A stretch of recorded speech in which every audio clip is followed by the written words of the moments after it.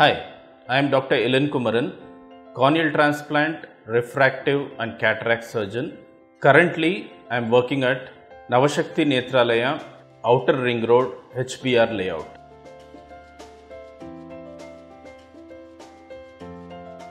The best treatment is to prevent a chemical burn in the eye. Now, chemical burns can be prevented by certain good work ethics, such as use proper protective glasses or eye shields before handling any chemicals.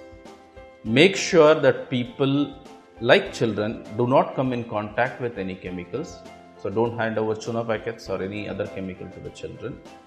And in case of an accidental injury, immediately start the treatment.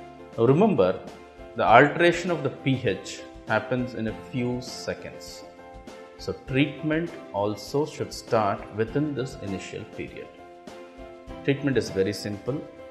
Take any running fluid. It could be as simple as tap water, but remember that this should be clean tap water or use a filtered water put the eye under this running tap water or you can ask a friend to pour water continuously over the eye while you hold the eye open. This procedure should be continued for at least 15 to 20 minutes, preferably 20 minutes. Now, 20 minutes, the reason is it leads to complete change of the pH if you use it continuous running water for 20 minutes. Also, the wash should be continuous, it should not be intermittent, meaning you should not stop just because the person is closing the eyes. Forcibly open the eyes and continue the wash. Second, common thing what people do is use opposite substance. That is, if it is an alkaline injury, they try to use mild acid. Please do not do this. This adds to the injury. So we should use simple, plain water. As soon as possible, contact the nearest ophthalmologist.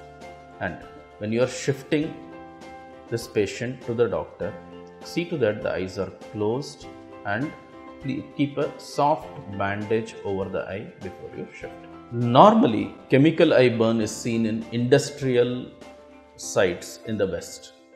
But in India, surprisingly, it's more common or equally common even in the household uh, usages. So remember to use these items carefully. The household items which can cause chemical injury includes lime, which are available as chuna, lye, which is available as a cleaner for toilets, mild acids. Again, these are used as uh, cleaning solutions for the toilet and uh, wash basins. Any other utensil cleaners, as well as certain chemicals that are used, such as nail polish and other uh, beauty products. Make sure that these do not come in contact with your eye.